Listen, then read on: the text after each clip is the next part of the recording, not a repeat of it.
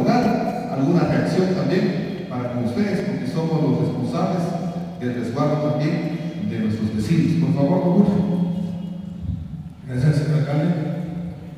Queridos amigos, vecinos, una buena tarde a cada uno de ustedes. Pues para mí es un privilegio estar con ustedes, compartiendo, escuchando las necesidades. Y también es una bendición de Dios porque aquí están los agentes responsables de la seguridad. Ellos se han ofrecido con voluntad y lealtad para poder servirle. Pero créanme, la experiencia que yo he tenido de que falta confianza en ellos. Ese es el temor que nos tiene, en la cual pues, nos hemos a los problemas de nuestras comunidades.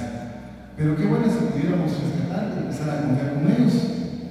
Y por hecho que salió una junta también de seguridad compuesta por líderes de nuestra comunidad, que la verdad estamos viendo, anhelando que se haga justicia, que se cumpla y sobre todo pues que se llegue a cubrir las necesidades de nuestras comunidades. El temor grande, como decía, dejémoslo a un lado, empecemos a confiar, pero sobre todo denunciemos. La Junta Local de Seguridad está para la prevención. Lo que nosotros no queremos es que haya médicos.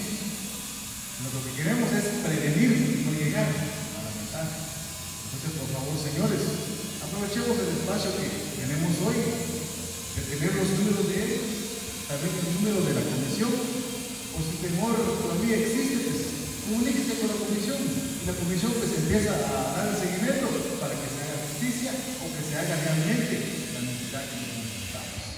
Una. Dos, también yo hablo por, por experiencia que he visto con la policía.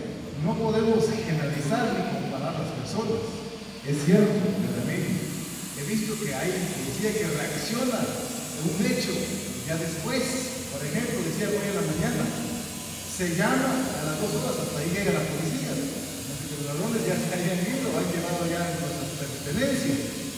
Pero no todos accionan y tienen esa misma dimensión.